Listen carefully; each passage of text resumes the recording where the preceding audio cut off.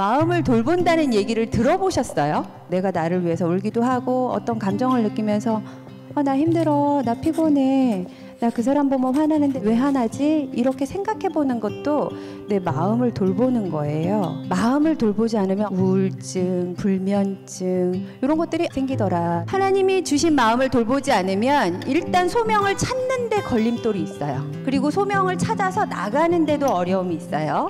여러분을 창조하신 하나님의 목적대로 쓰임 받는데 살아가는데 장애물이 된다고요.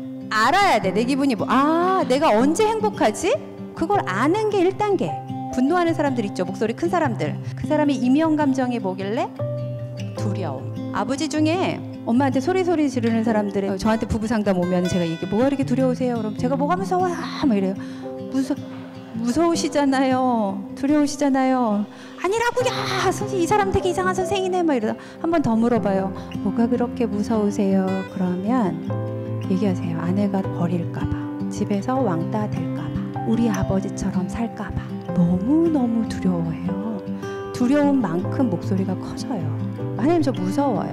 하나님 저 겁나요. 잘못될까 봐 걱 정돼요. 요런 게 내 감정을 돌보는 거고 나를 아는 거죠.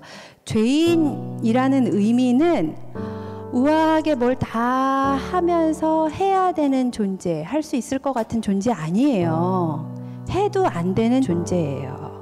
어쩔 수 없어요. 그런데 주님이 은혜를 주셔서 뭘 하나 할 수 있는 거예요. 이게 굉장한 은혜예요. 여러분들이 지금 어, 미래를 준비하면서 두렵고 떠는 건 당연해요. 뭐 이렇게 부족하고 못나서 막 물론 그럴 수도 있어요. 그런데 안 그래야만 한다라는 전제 자체는 틀렸어. 아, 우린 죄인이라서 그럴 수밖에 없지.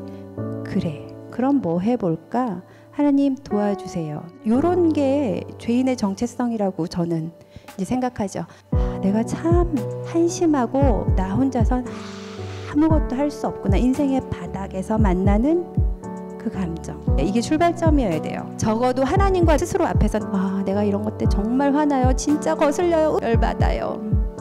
이런 것들을 하나님하고 먼저 할 수 있으면 도움이 되지 않을까 싶습니다.